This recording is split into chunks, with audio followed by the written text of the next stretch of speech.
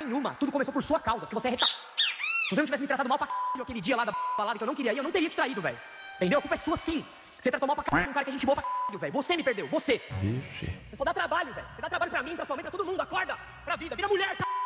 Para de ficar dando trabalho pros outros. Agora eu preciso tentar me acalmar pra dar minha aula, pra resguardar um pouquinho da minha voz ainda, porque tem um monte de gente que depende de mim, que precisa de mim, tá? Você não deu valor, você me perdeu. Não consigo nem falar mais direito, velho. Que merda do Porra, desgraça do- Será que ele é médico? Professor de meditação? Como assim, pessoal? Tenha dó, tenha dó, Giovanni. Olha o estado que eu tô. Cara... Ai, meu Deus, o cara vai aumentando o tom de voz. Eu tô cagando pro seu estilo, velho. Eu tô preocupado com o meu.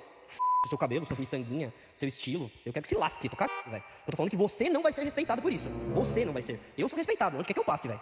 Não importa onde eu entre, Giovanni. As pessoas me respeitam e me consideram. Eu quero muito ver esse cara, velho. Meu Deus. Bom, pessoal, para quem acompanhou Giovanna e seu ex naquela saga que mais parece uma trilogia do Senhor dos Anéis, voltamos agora com o vídeo resposta do Senhor ex. Aparentemente ele se chama Luiz Henrique. Vamos ver o que ele falou. Direito de resposta. Eu acredito na inocência dele. Ele é um ótimo rapaz, um ser iluminado. Ô, Bru, sem maldade, mano. Tô ligado que nós não se conhece pessoalmente, né, pá? A gente trocou umas ideias por aqui só, a gente se segue aqui porque a gente tem uns amigos em comum e tal. Mas, mano, essa mina tá causando, tio. Você é louco, eu sou uma pessoa boa, velho. Eu nunca levantei a mão pra nenhuma mina, nunca nem, mano, fiz nada com ninguém, tá ligado? Essa mina fez um inferno na minha vida, mano. Você não tem noção, velho. Que essa mina destruiu minha vida por um tempo mesmo, tá ligado? Foi um bagulho muito pesado, mano. Até desculpa aí que você acabou até ouvindo meus desabafos, né? Desculpa mesmo. Mas ela tá se passando essa mina, mano, pelo amor de Deus, velho. Sabe? Qualquer um consegue perceber isso, velho. Só saber que toda a história tem dois lados e quem me conhece de verdade tá ligado que eu não sou assim, mano. Exato. Quem me conhece sabe. Eu sabo muito. Todo mundo percebeu, pessoal. Eu percebi que a Giovanna tava sendo tóxica, pessoal. De conversinha, vai ficar chateada só porque ele traiu ela. Foi culpa dela. Se ela não tivesse levado ele pra balada, ele não teria traído ela.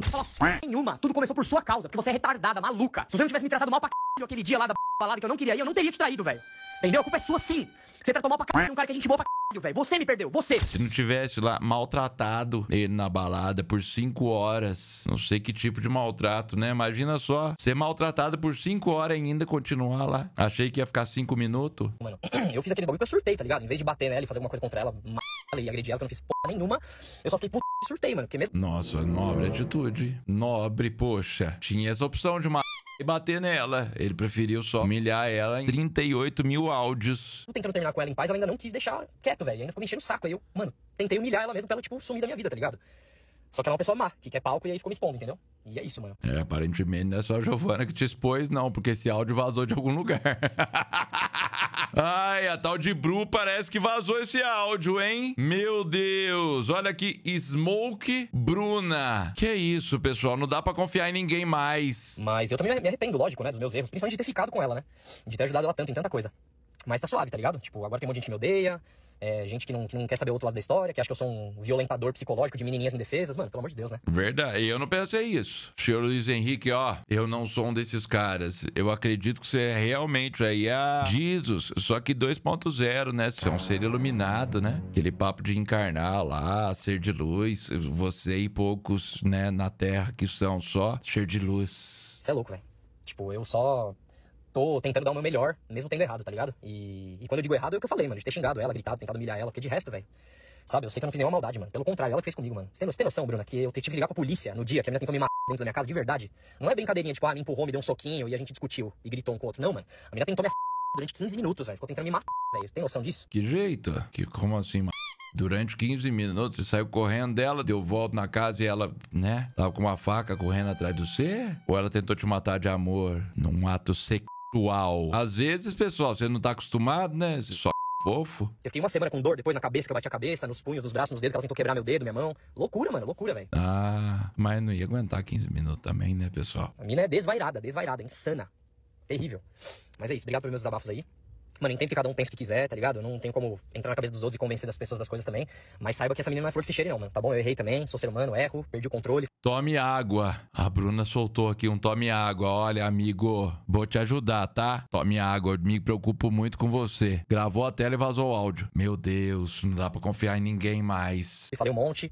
Só que nada do que ela tá fazendo é justificável também, tá ligado? Mas é isso, obrigado aí pela atenção. Ah, tome água com limão. Então, é nóis. Que passa e vazou o áudio. Cara, e ela fez um- uma parte 2, pessoal. Que que é isso? Todo mundo quer monetizar em cima do Luiz Henrique, pessoal. Inclusive eu. E não tem parte 2 ainda. Baitou todo mundo. Falou que ia ter parte 2. Segue pra ter parte 2. Cadê? Que mané parte 2, pessoal? Baitou todo mundo. Bom, pessoal, vocês já participaram ou conhecem a palavra racha? Muita gente conhece. Muita gente usa de forma errada. Mas, de qualquer forma, a palavra racha vem acompanhado não só de indecências, mas também de periculosidades, coisas perigosas. Vamos ver sobre isso agora. PM causa acidente durante racha com viatura. Câmera corporal registrou as imagens. É, o caso aconteceu em julho deste ano, mas somente agora as imagens da câmera corporal do agente que de registraram a corrida foram divulgadas. Olha só, coisa genial, pessoal. Meu Deus. Ah, não estragou muito se for ver desse ângulo, né? Só um arranhão ali, né? Martelinho de ouro. Deve, deve desamassar aquilo ali, né? Fazer um polimento. Acho que é tranquilo. Policiais envolvidos foram afastados, tá? Imagens da câmera corporal de um policial militar de São Paulo viralizaram nas redes sociais após registrarem um agente acelerando intencionalmente com a viatura que dirigia logo após colidindo com o veículo da corporação. Olha só que maravilha. O caso aconteceu na madrugada de 13 de julho deste ano em Interlagos, zona sul da capital paulista. Daí a gente pergunta: Interlagos dentro da pista? A não ser que tenha mercadinho lá dentro, eu não vi construindo, pessoal. Acho que não, né? Às vezes é a primeira vez dele em Interlagos, ele achou que tudo era corrida. Na gravação policial, enquanto dirigia, a viatura pergunta ao colega do lado: aposta um racha? Sem resposta, ele então começa a acelerar com o carro da Polícia Militar de São Paulo, logo após colide contra outros dois veículos. Cara. Ao todo, quatro agentes estavam dentro da viatura. Segundo a Secretaria de Segurança Pública do Estado de São Paulo, todos foram acusados de direção perigosa. Além da acusação, os PMs foram afastados do serviço operacional e respondem a processos administrativos. Então vamos ver agora sobre o acidente. Após sugerir um colega, né? Ah, vamos ver qual é que é. Pessoal, isso daqui é muito sério, tá? Não, não, não é engraçado. Acidentes não são engraçados.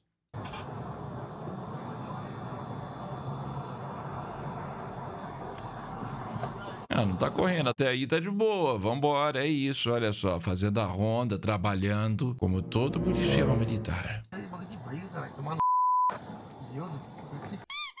Pra mim que se f. Certo, Bildo, quero que se f... pra mim que se f... Bom de briga. Toma no... entendi. Isso que faz, cara. Dar um racha?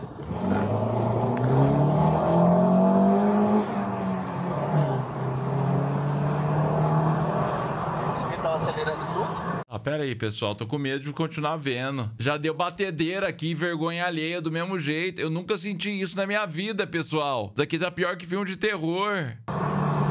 Tá. Tá, cara. Tá cagado.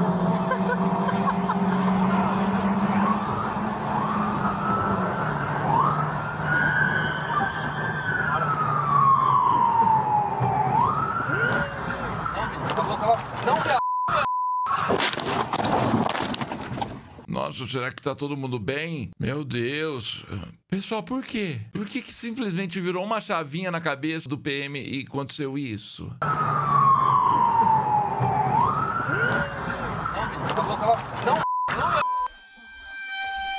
Cara, a impressão que eu tive que o rapaz aqui colocou a mão. Deixa, eu vou ajudar você! Ah, meu Deus! Ai, galera, desculpa, eu não aguentei. Ai, não, não. Olha lá. não.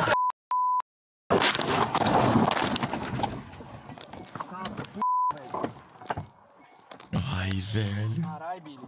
Billy. Rapaz, ia fazer uma manobra perfeita. O que, que você fez, Billy?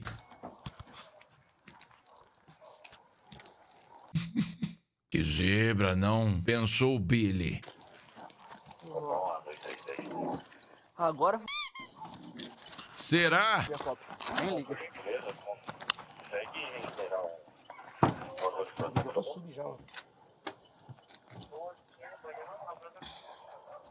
Outro pave.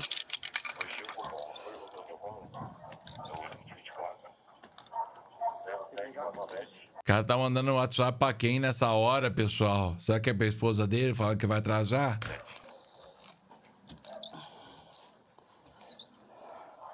Amor, desculpa, deu ruim aqui, viu? Vou atrasar um pouco hoje. Estou numa ocorrência causada por mim mesmo. Puta, irmão, o que que eu fiz, velho?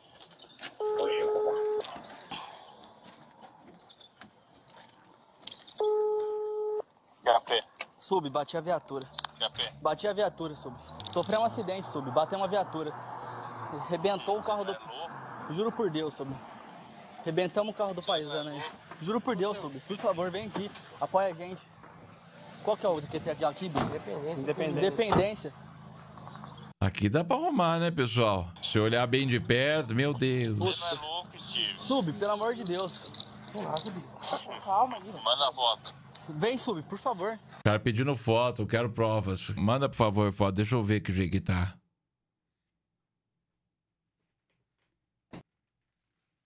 Deu pra ver? O carro é o que tá atrás de mim.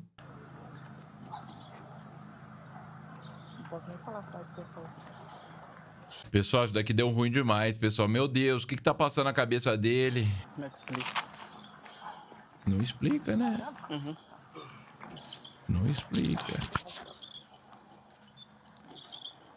Bota a culpa no Billy, falando: olha, eu ia executar a manobra perfeita. O Billy que colocou o braço e me atrapalhou. Galera, não tem como passar pano numa situação dessa. Não tem como você chegar e falar assim: olha só, pega leve, acidentes acontecem. Acidentes. Isso daqui não foi um acidente, entendeu? Aqui ele assumiu o risco de acelerar numa via e simplesmente fazer graça. Foi isso. Ah, poderia acontecer com qualquer um? Sim, com qualquer um que tomasse a mesma atitude que ele, aconteceria mesmo. Pô, não tem por, por onde, né, pessoal? Que responsabilidade. E se fosse um civil, velho? E se tivesse alguém dentro daquele carro? Né? Não tem por onde você passar pano, não tem por onde você amenizar a situação, não. A situação foi cômica por conta do negócio, mas é, poderia ser igualmente trágica, tá? Graças a Deus aí ninguém se feriu. Vamos terminar de ler a notícia aqui. Eu acho que é PM jovem, pessoal. Na esfera civil, eles respondem o processo indenizatório devido aos prejuízos causados ao terceiro patrimônio público. É, eles foram afastados do serviço operacional e também respondem a processos administrativos, que podem levar às suas respectivas exonerações, segundo o órgão. Próxima vez, tenta fazer isso, só que dentro do autódromo. Crucialmente, fora do horário de serviço. Vamos para outro aqui. Delegada se fantasia de mini para capturar foragida. Meu Deus, isso daqui deve ser meme mesmo, pessoal. Mas olha só, né? Policial infiltrada, né? Detetiva, é espiã. A ação aconteceu em Lima, no Peru, e o plano envolveu outros policiais fantasiados, incluindo um frango gigante. A operação foi filmada mostrando o momento que os policiais chegaram à casa da mulher com um buquê de flores amarelas. Cara, pior que ao antes e depois ela recebendo felizinha e agora aqui, ó, ela prensada na parede sendo algemada. Não é nem meme. Por que, cara? Por que meteram o louco mesmo? É isso? Quiseram dar uma falsa esperança? Quiseram fazer um meme? Era só chegar, vocês são oficiais. Em um dia que chamou a atenção nas redes sociais, uma delegada de polícia peruana. Olha só, quem diria? Alguém do Peru se disfarçou de Minnie Mouse para capturar uma mulher foragida acusada de fraude. Pistoleira, né? Bandida. A ação aconteceu em Lima no início do mês. Segundo o jornal peru- peruano Diário Pontual, o plano envolveu outros policiais fantasiados, incluindo um frango gigante, que fizeram uma encenação para conseguir prender a suspeita. A operação foi filmada, caralho. Eu achei que era só foto. Isso daqui sim é conteúdo. É, mostrando o momento que os policiais chegaram à casa da mulher. A descrição tá ótima. Identificada como Lucero. E o Lucero não foi aquela mulher, não, que a gente reagiu antes de ontem? Aquela cantora famosa que o Marco Antônio no aeroporto área restrita desviou ela? Fez ela fugir dos fãs? Olha só, hein? Quem diria, Lucero? Do luxo ao lixo. Famosa, cheia de fãs e agora sendo preso pela Mini. Ai, me ajuda. Vamos lá.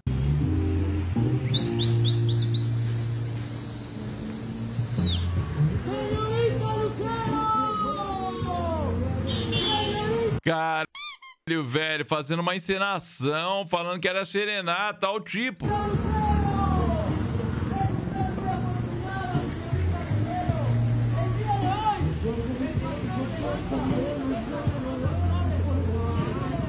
Legal, cara. Gostei, tadinha, velho. Isso aqui, pu... velho. Eu, te- eu vou passar pano pra bandido. Brincar com o sentimento da pessoa desse jeito, pessoal. Tadinha Lucero, pessoal. Tá pensando realmente que alguém tá interessado nela. Que alguém, de fato, tava tentando ligar pra ela sem ser cobrança. Olha só. Daqui é desumano, pessoal. Dá falsa esperança, né? É que as pessoas caem no golpe, né? Do astronauta americano que tá precisando de 100 mil dólares. Daí a brasileira vai lá e deposita. É mais ou menos essa vibe aqui, ó. É a mesma sensação de ser enganado.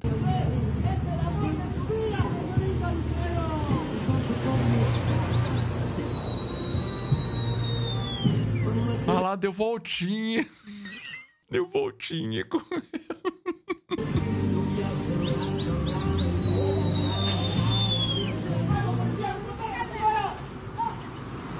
Ah, do nada! ah, cacete! Cara, saiu gente de todo lado, velho! Para, pega, Parou a música, parou tudo. 15 pessoas pra prensar Lucero, pessoal.